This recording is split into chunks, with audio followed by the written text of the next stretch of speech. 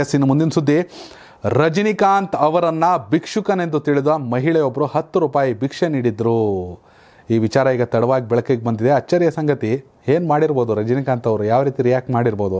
S, ಇವರನ್ನು ನೋಡಿದ ಮಹಿಳೆಯೊಬ್ಬರು ದೇವಸ್ಥಾನದ ಎದುರು ಹತ್ತು ರೂಪಾಯಿ ಹಾಕಿದ್ರಂತೆ. ಅದಕ್ಕೆ ಕಾರಣವೂ ಇದೆ. ರಜನಿಕಾಂತ್ ಅವರ ಲುಕ್ಕು ತೆರೆ ಮೇಲೆ ಬೇರೆ ರೀತಿ ಇರುತ್ತೆ. ಆದರೆ ಅವರು ಅಸಲಿ ಜೀವನದಲ್ಲಿ ಹೇಗೆ ಇದ್ದಾರೋ ಹಾಗೇ ಇರ್ತಾರೆ. ಮೇಕಪ್ ಇರೋದಿಲ್ಲ, ಏನಿಲ್ಲ, ತಲೆ ಮೇಲೆ ಕೂದಲು ಇಲ್ಲ. ಪಂಚೆ ಸುತ್ತಿ ಹೋದರೆ ಅವರನ್ನು ರಜನಿಕಾಂತ್ ಎಂದು ಗುರುಸುವುದೇ ಎಷ್ಟೋ ಮಂದಿ ಕಷ್ಟ.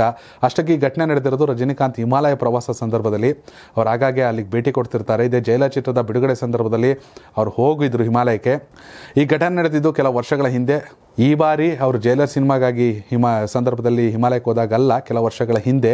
ತಮ್ಮ ಹಿಂದಿನ ಸರಳ ಉಡುಗೆ ತೊಟ್ಟು ದೇವಸ್ಥಾನದ ಕಂಬದ ಬಳಿ ಕುಳಿತಿದ್ರಂತೆ. ಆಗ ದೇವಾಲಯಕ್ಕೆ ಭೇಟಿ ನೀಡಿದ ಮಹಿಳೆಯೊಬ್ಬರು ದೇಗುಲದ ಕಂಬದ ಪಕ್ಕ ಕುಳಿತಿರುವ ಇವರನ್ನು ಭಿಕ್ಷುಕ ಎಂದು ಭಾವಿಸಿ ಹತ್ತು ರೂಪಾಯಿ ನೀಡಿದ್ರಂತೆ. ಇದನ್ನು ಅಲ್ಲಿದ್ದ ಯುವತಿಯೊಬ್ಬರು ನೋಡಿದ್ರು. ಅವರಿಗೆ ಇವರು ರಜನಿಕಾಂತ್ ಎಂದು ತಿಳಿದಿತ್ತು. ಯುವತಿ ಮಹಿಳೆಗೆ ಸತ್ಯ ಹೇಳುವ ಮೊದಲೇ ರಜನಿಕಾಂತ್ ಅವರು ಮಹಿಳೆಗೆ ಏನು ಹೇಳದೆ ಅಲ್ಲಿಂದ ಎದ್ದು ಕಾರಿನ ಕಡೆ ಹೋದ್ರಂತೆ. ಯುವತಿ ಮಹಿಳೆ ಯುವತಿ ಮಹಿಳೆಗೆ ವಿಷಯ ಹೇಳಿದಾಗ ಆಕೆ ಪಶ್ಚಾತ್ತಾಪಪಟ್ಟು ಕಾರಿನಡೆಗೆ ಹೋದ್ರಂತೆ. ರಜನಿಕಾಂತ್ ಬಳಿಗೆ ತೆರಳಿ ಕ್ಷಮೆ ಯಾಚಿಸಿದ್ದಾರೆ. ರಜನಿಕಾಂತ್ ಅದಕ್ಕೆ ಸಹಜ ನಗುವಿನ ಮೂಲಕ ಪ್ರತಿಕ್ರಿಯೆ ನೀಡಿದ್ರಂತೆ. ಈ ವಿಷಯವನ್ನು ಯುವತಿ ಈಗ ಬಹಿರಂಗಪಡಿಸಿದ್ದಾರೆ. ಇನ್ನು ಮತ್ತೊಂದು ಕಡೆ ರಜನಿಕಾಂತ್ ಅವರ ನೂರ ಎಪ್ಪತ್ತನೇ ಸಿನಿಮಾದಲ್ಲಿ ಅಮಿತಾಬ್ ಬಚ್ಚನ್ ನಟಿಸಲಿದ್ದಾರೆ ಎನ್ನುವ ಸುದ್ದಿ ಹೊರಹಾಕಿತ್ತು. ಲೈಕಾ ಸಂಸ್ಥೆ ಇದೀಗ ರಜನಿಕಾಂತ್ ಅವರ ಫಸ್ಟ್ ಲುಕ್ ಆ ಸಿನಿಮಾದ ರಿಲೀಸ್ ಮಾಡಲ ಮೂಲಕ ಅಭಿಮಾನಿಗಳಿಗೆ ಡಬಲ್ ಸಂಭ್ರಮ ತಂದಿದೆ. ತಲೆಯುವ ಫಸ್ಟ್ ಲುಕ್ ಕಂಡು ಅಭಿಮಾನಿಗಳು ಫಿದಾಗಿದ್ದಾರೆ. ಬರೋಬ್ಬರಿ ಮೂವತ್ತೆರಡು ವರ್ಷಗಳ ಬಳಿಕ ರಜನಿಕಾಂತ್ ಮತ್ತು ಅಮಿತಾಬ್ ಬಚ್ಚನ್ ಮತ್ತೊಮ್ಮೆ ಬೆಳ್ಳಿ ತೆರೆಯಲ್ಲಿ ಜೊತೆ ಆಗ್ತಿದ್ದಾರೆ